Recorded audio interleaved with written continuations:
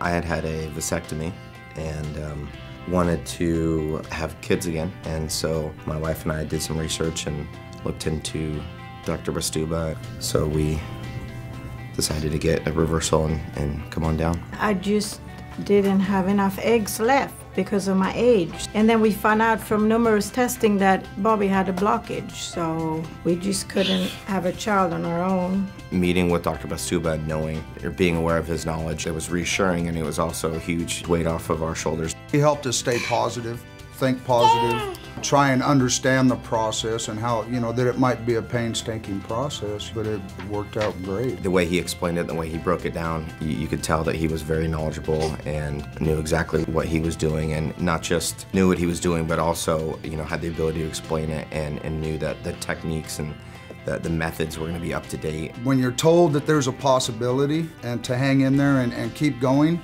that's when you, you feel a little better about what you're doing. The surgery went, um, went well. He reassured me that things are looking good, just give it a little bit of time. And sure enough, by the second test, the number had increased. There was no need for the third test because we were already on our way. A lot of prayer, a lot of hope, and Dr. Bastuba gave us that.